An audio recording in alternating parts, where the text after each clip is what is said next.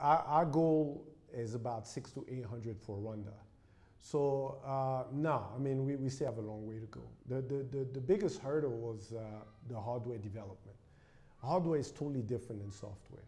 You know, you can't just have what they call a, a minimum valuable product, just launch it and, and improve as you go. Hardware is different. You have to have a product that is fully working, safe to the end user or whoever is going to be using it, well tested before you launch it um, on the ground. So for the last kiosk, it took about two years to develop it. So that was those those those I call them development gaps uh, stop us from expanding as we want to. But it's it's part of doing business. The reason why I like this hardware software combination is it, it separates us from our competitors. So it, it, gives us an edge. But we're not where we want to be, definitely not. We have kiosks in refugee camps. We have kiosk in rural area where there's no electricity. We have kiosk in Nyabugogo where there is electricity. Uh, our, our product and services is a convenient, what we call convenient uh, product or services. Meaning somebody, even though there's electricity or not, you can't go to a marketplace and charge your phone outside. There's no, there's no place for you to plug in and charge. Plus, most people don't carry their charger with them.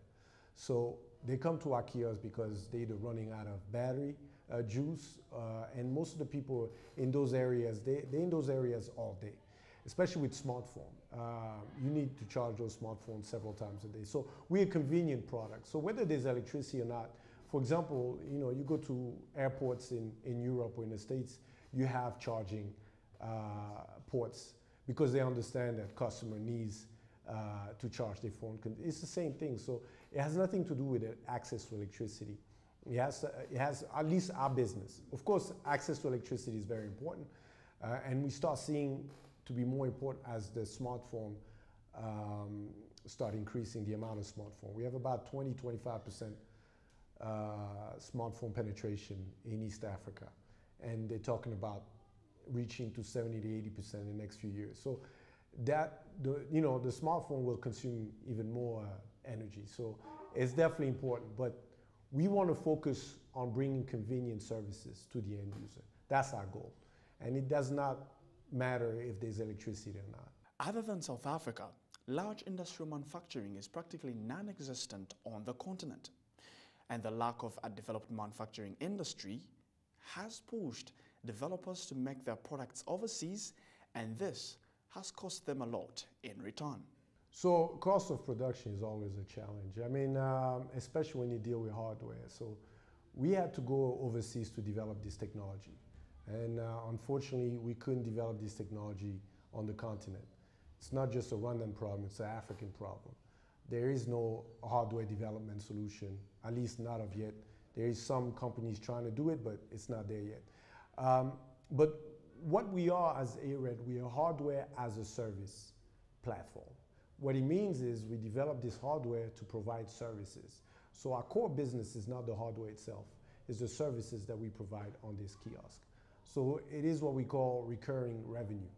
Uh, and that's the business I like to be in. Um, hardware itself, then you have to depend on selling this kiosk uh, to generate revenue. So we don't sell the kiosk, we generate revenue on the services. But we designed the new kiosk to be able to be manufactured in Africa. So most of the country we go in, we look for manufacturing company that can develop or manufacture at least part of those components. Because the way the kiosk was developed is, is modular. So it can be breaking apart in different components. Uh, we know we're not going to be able to manufacture everything. Like solar panels right now, we're talking to a company in Tunisia. Uh, the frame, we know we can do it uh, in, in the region. Uh, so some of the, we want to minimize the import, but it's still, you know, it's still challenging. And, and the problem is, people think, okay, manufacturing in Africa is cheaper. It's actually not cheaper. You know, um, most manufacturing companies want to have bulk orders. So they don't, they're not catered to the SME, to the small companies. So the only uh, country I've seen that is really adapt to any size of order is China. You know, we're not there yet. You know, if you go to a manufacturing company and you tell them you need 30 or 50, they don't even talk to you. In China, they don't care. You know, they'll work with you because they understand business. So we still have this mindset we need to, to fix. But, you know, eventually in the future, we want to manufacture most of the kiosk. Uh, I won't say locally in Rwanda, but at least regionally uh, on the continent. Access to markets is still highlighted as a big challenge that's affecting growth of many small and medium enterprises due to regulations, border processing, and market fragmentation. And this does not only threaten their survival, but also affect their decisions. I built this company for expansion. I didn't just build it for Rwanda. Um, obviously, Rwanda is a small market. Um, the need is there all across Africa.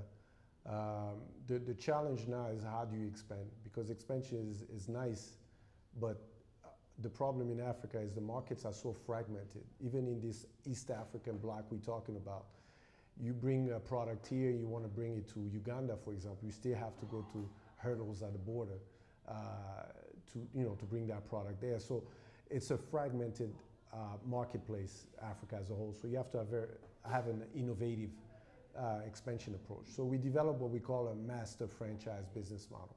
So we work with partners in all those countries we go in.